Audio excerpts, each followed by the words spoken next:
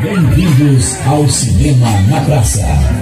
É com grande prazer que a Secretaria de Estado da Cultura e a Casa do Verbo Assessoria Cultural trazem até vocês essa iniciativa que tem como objetivo proporcionar momentos de lazer e cultura para toda a comunidade.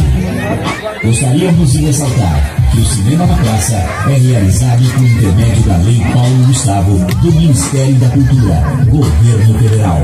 Huni.